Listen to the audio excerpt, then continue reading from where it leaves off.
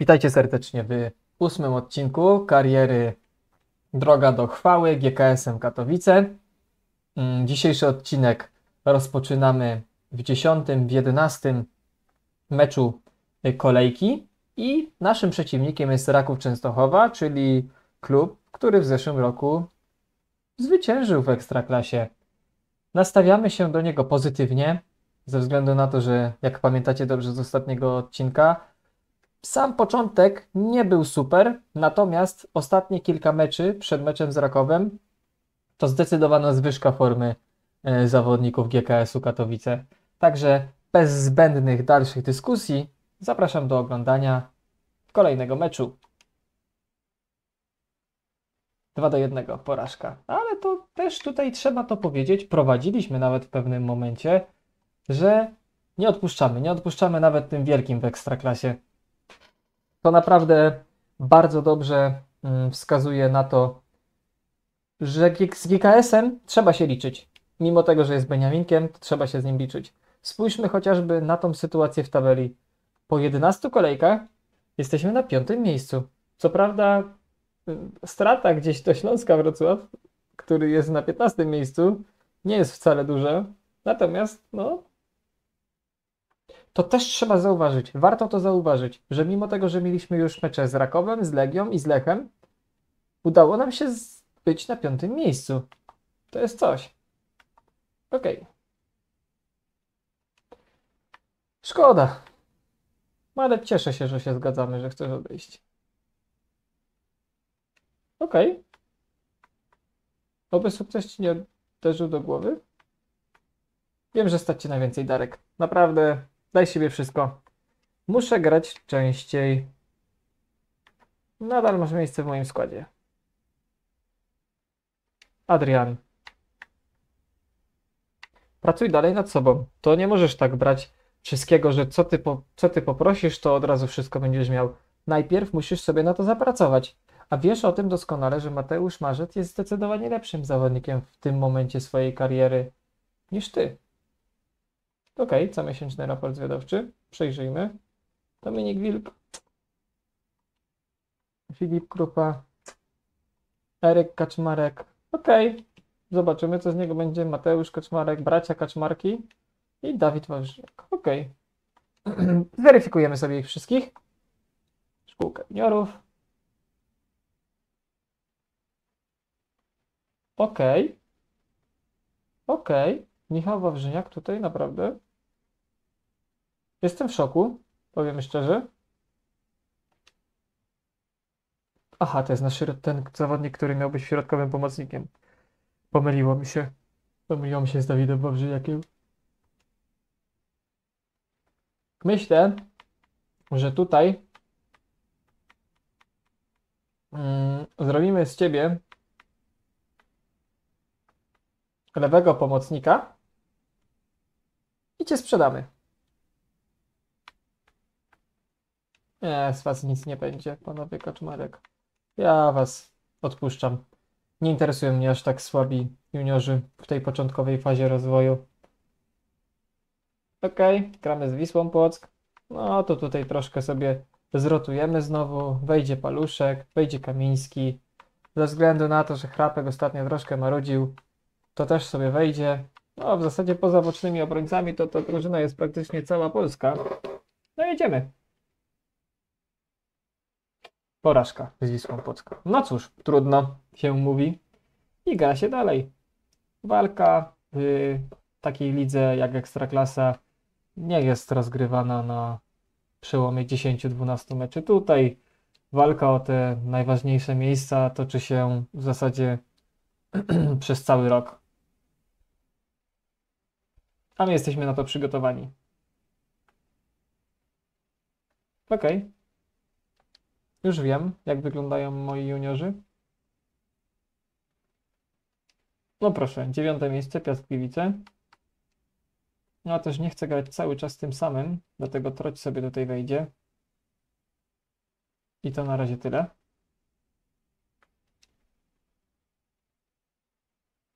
Porażka. Kolejna. No trudno. Zdarzają się wzloty, zdarzają się też upadki. Siódme miejsce to dalej moim zdaniem nie jest zły wynik.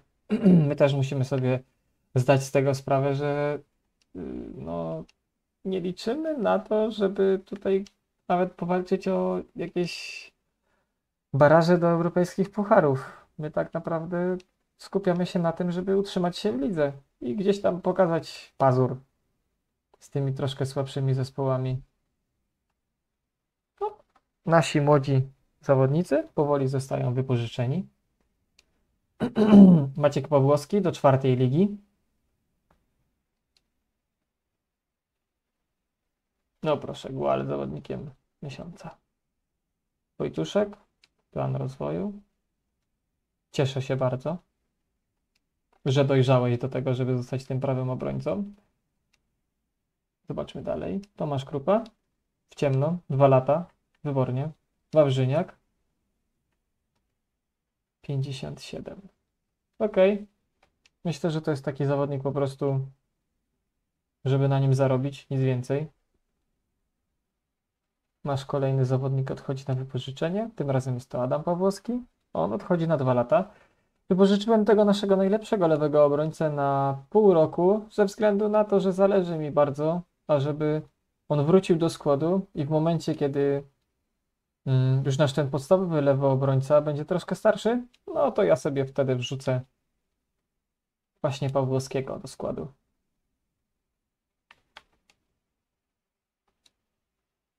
W ciemno 250 tysięcy. To dobra kwota, jak za takiego słabego zawodnika. Dalej. Wypożyczenie Tomasza Krupa do Drohedy. Dwa lata. Także myślę, że on się ogra. Może coś z niego będzie w przyszłości. Zobaczymy. No i mecz y, Beniaminków tak naprawdę. Zobaczmy, co się wydarzy. 1-1. No, podział punktów w takim meczu na wyjeździe to też jest dobry rezultat. Nie ma co też być bardzo surowym dla tych chłopców. Oni dopiero się wdrażają w tą ligę.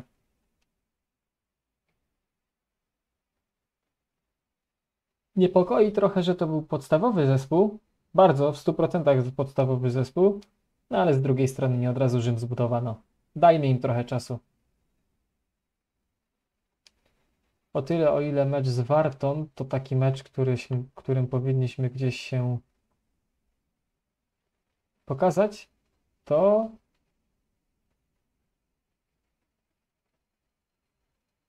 Oj, coś się, coś się źle wybrało.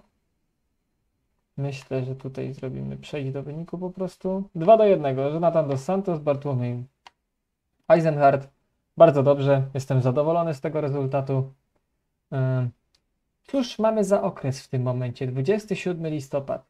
Ok, to ja myślę, że to jest idealny moment na to, aby nasi skauci zmienili trochę swoje spektrum zainteresowań i pójdziemy w tą stronę. Przede wszystkim bardzo zależałoby mi na tym, żeby ściągnąć jakiegoś pomocnika defensywnego.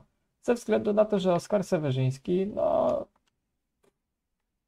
jak sami możemy zauważyć, niestety już się nie będzie rozwijał, więc y, jakkolwiek dalsza współpraca z nim troszkę straciła sens. Damy sobie również szansę na znalezienie jakichś piłkarzy, którzy będą y, członkami podstawowej jedenastki, których będę mógł zakontraktować właśnie za darmo w Ekstraklasie. I jeszcze tak ogólnie rzucimy ten temat Zobaczymy, co z tego wyjdzie. No i wiadomo, trzeba nad tym sprawować pieczę i weryfikować, co tam się uda wyciągnąć z tego darmowego transferu tak naprawdę. Marcin Pawłowski, ok, duży potencjał, tutaj mały potencjał, bardzo duży potencjał, jeszcze większy potencjał i ogromny potencjał. O, naprawdę, ci piłkarze młodzi, których dostaję od pewnego czasu, to nic, tylko brać w ciemno. Zobaczmy jeszcze ich, przeanalizujmy, w jaki sposób kreują się ich perspektywy. No tutaj jest gościu na lewej pomocy, To nie za bardzo mi odpowiada. A tu gościu jest na prawej pomocy. To też mi jakoś super nie odpowiada. Myślę, że żeby to miało jakikolwiek sens i żeby ich obecność w moim składzie była prawobytu, no to zrobimy z nich cofniętych skrzydłowych.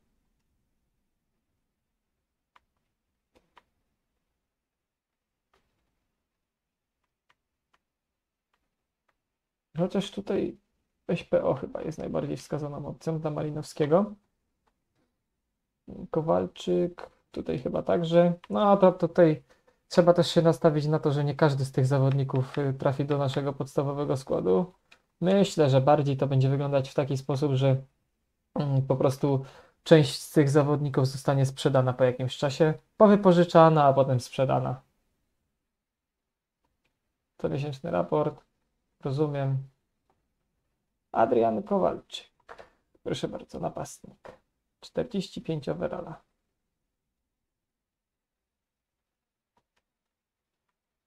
No, żeby tutaj dać mu szansę, no to kreujemy w, nim tylko i wyłącznie te właśnie takie aspekty ofensywne. A tymczasem mecz z trzecią pogonią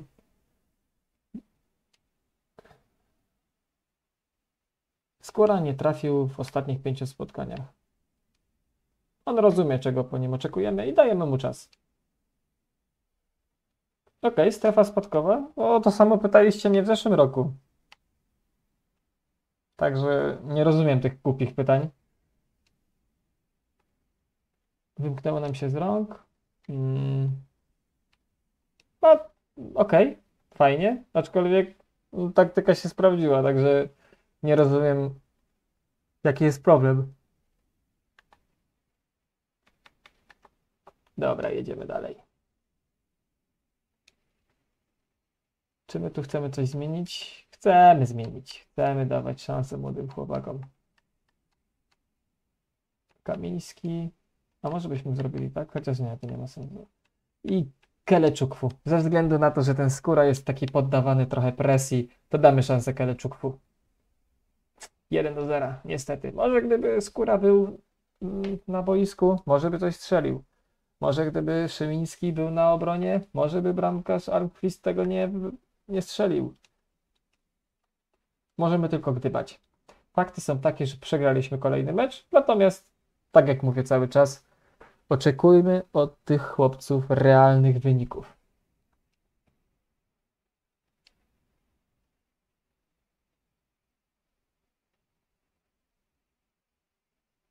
Mecz z Wisłą Kraków. Jednym z ostatnich drużyn w tabeli, także no tutaj myślę ryzyko. Może stracimy głupio punkty, aczkolwiek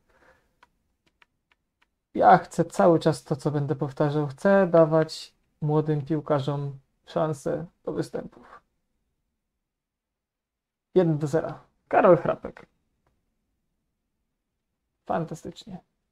Podoba mi się to. Dostał szansę, wykorzystał. To jest to, czego oczekuję. Nasi środkowi obrońcy są zadowoleni z tego powodu, że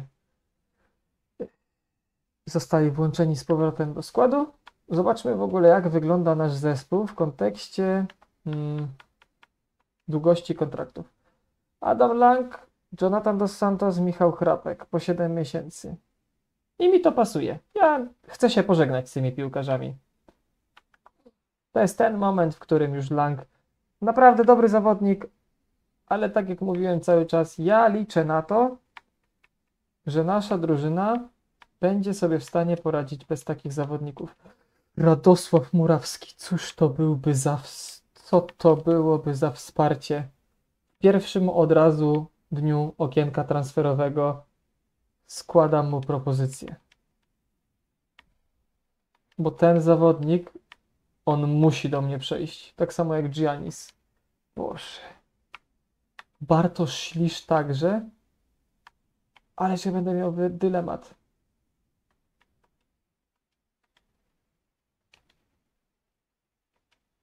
Wow.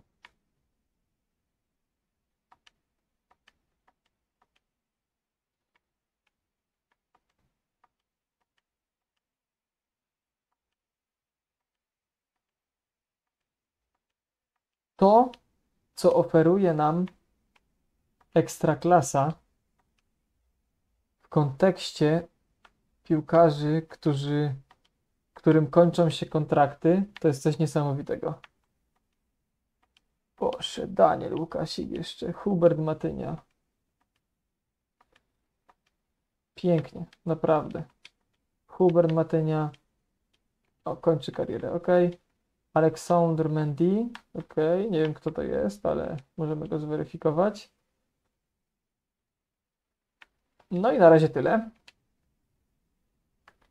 Ale podoba mi się to, co oferuje. Boże, Ślisz i Murawski.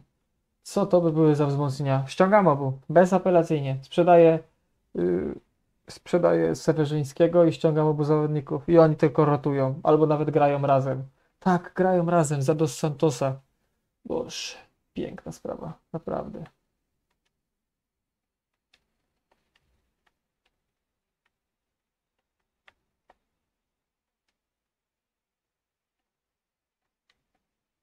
Ależ nie mogę się doczekać tego okienka. Michał, nie denerwuj mnie. Po co ty tak marudzisz? Zobaczmy, jak wyglądają występy. Bartłomiej Eisenhardt odnotowuje występy z najwyższej półki. Igor Maślanka w zespole tygodnia. Ok. GKS po raz ponownie pokonał Radomiak, bo tak trochę przeszliśmy przez to bokiem. No ale trzeba to powiedzieć, że GKS znowu sobie poradził całkiem nieźle.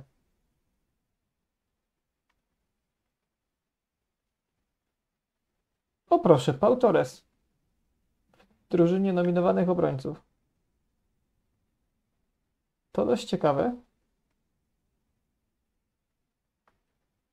Jeszcze trochę, jeszcze kilka tygodni i może znajdziemy naszego zawodnika w kontekście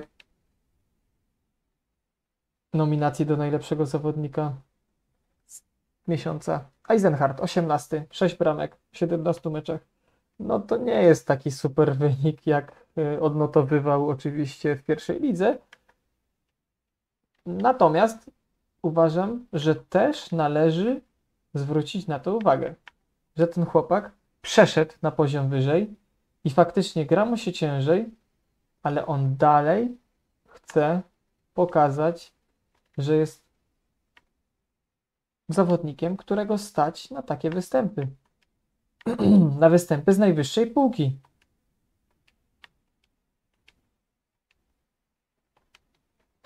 Jeśli zagra tak w przyszłym sezonie, kto wie, może pojawią się spekulacje na temat powołania do reprezentacji. Zobaczymy, pożyjemy, zobaczymy. Jest pierwszy dzień okienka transferowego. Pierwszy dzień roku 2024. Przechodzimy do centrum transferowego. Spójrzmy, pięknie. Bartosz Ślisz jest możliwy do wykupienia za darmo. W ciemno, oczywiście, panie Bartoszu. Trzy lata. Rok? Tylko rok? Dobra, dwa lata. Wybornie. Akceptuję w ciemno wszystko. Co tylko chcesz. Dostaniesz piątkę. Piątkę i 50 tysięcy na start. Taki jestem hojny. Wybornie, Bartosz. Cieszę się bardzo, że podjęliśmy wspólną decyzję. Cóż to będzie za wzmocnienie w przyszłym sezonie. Jeśli jeszcze kupią Radosława, jeśli ściągną go za darmo, to będzie można powiedzieć, że drużyna GKS-u Katowice zbroi się na europejskie puchary.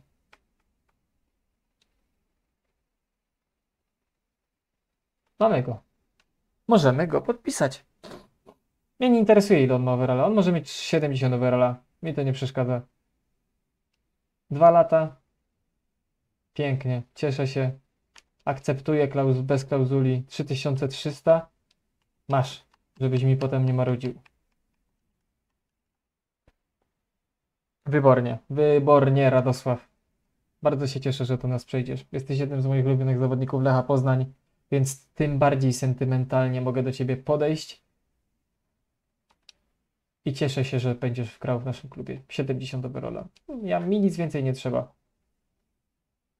Takie dwa wzmocnienia. Cóż to będzie za para w środku pola? Ach, Giannis Masuras jest niestety nie, nie będzie mógł być wykupiony w taki sposób. No nic, to na razie tyle, ale zobaczmy jeszcze, co, co tutaj, jak to tutaj wygląda. Może ktoś jeszcze się znalazł? Błanik? No to prawda, to nie jest taki zawodnik, którego ja, którym jestem zainteresowany. Richard Jensen, okej. Bielica nie. Zanżeles Won- Wondo nie. Rasak nie. Dadok też raczej nie. Władysław też nie. Okej. Pomocnicy.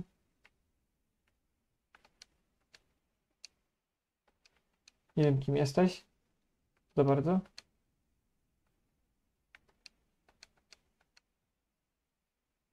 I dowolna pozycja.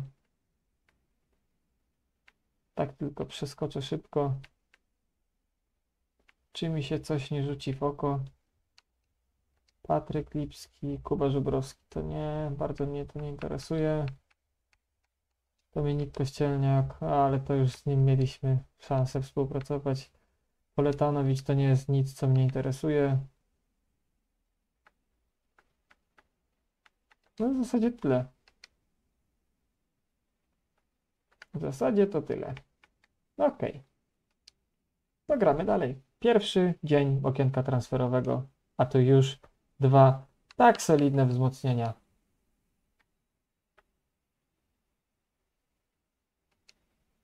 Mm, Czy my tobie zmieniliśmy dostępność? Nie, nie zmieniliśmy.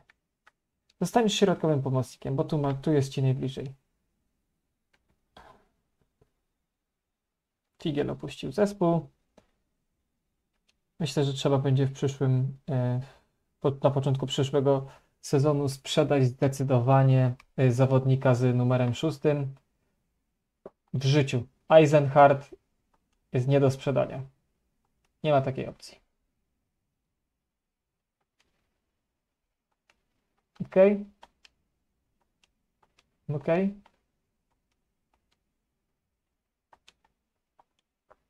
Nie jestem zainteresowany, także możemy przejść dalej. No proszę, Almqvist wybrany najlepszym zawodnikiem tego miesiąca. Malinowski gotowy do zmiany. Fantastycznie.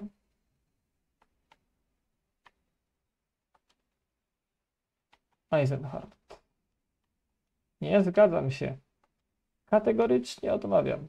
Eisenhardt ze mną zostaje.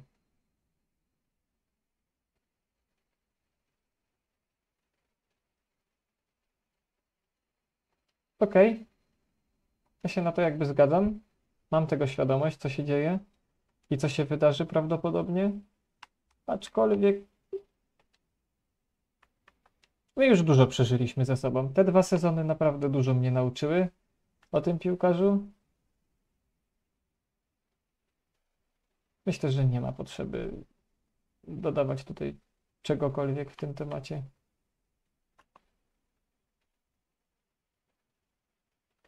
Proszę bardzo.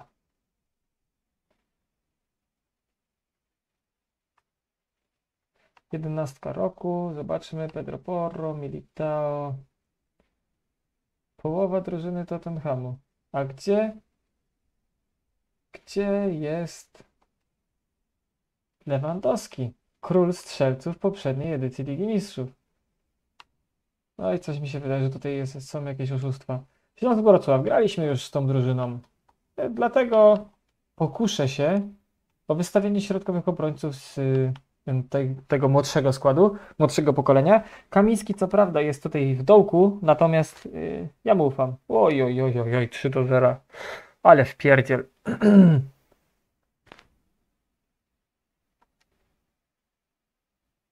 No to może na pucharze chociaż pokażemy coś więcej.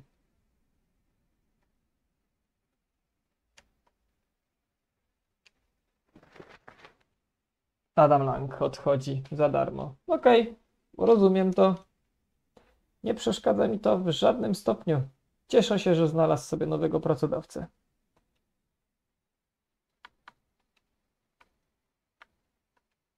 Tutaj sobie możemy naprawdę pozwolić na wiele, bo ja się nie napalam na tą. y,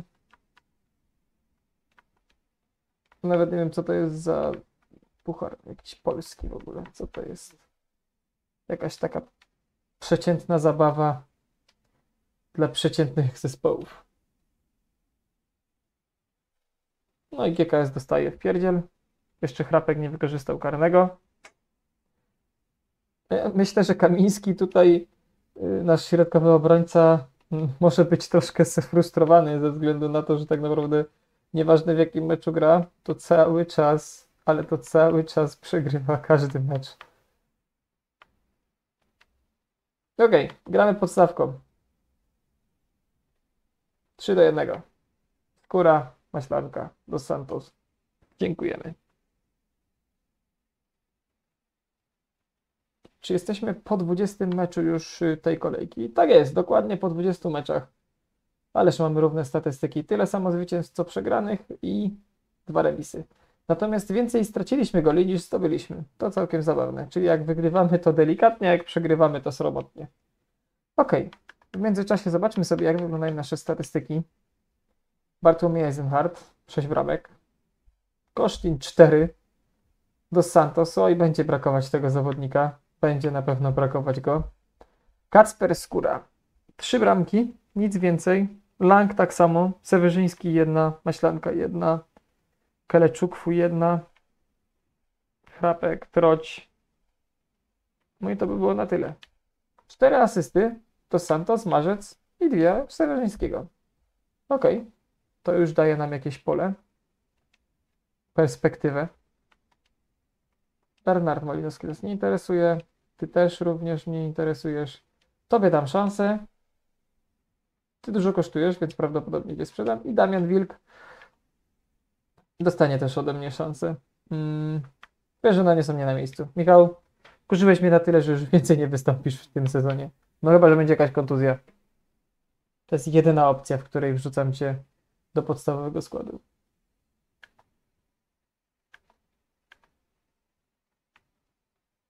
Ja też nie mam z czego kupować, także przewinę ten ostatni dzień okienka transferowego. Nie jest mi to potrzebne.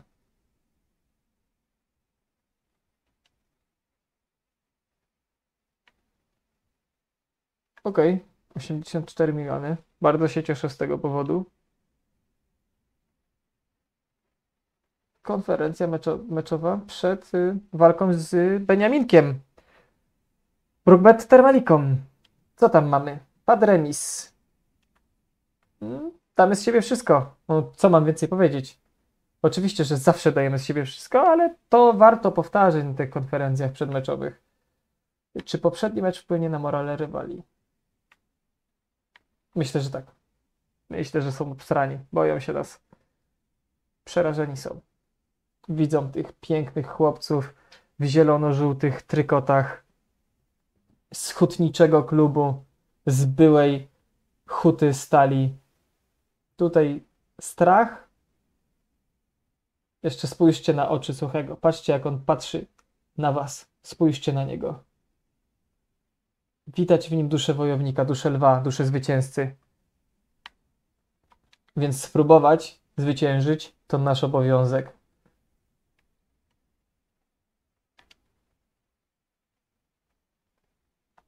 Zobaczmy, co tam jeszcze mamy ciekawego. Kowalczyk gotowy do zmiany pozycji.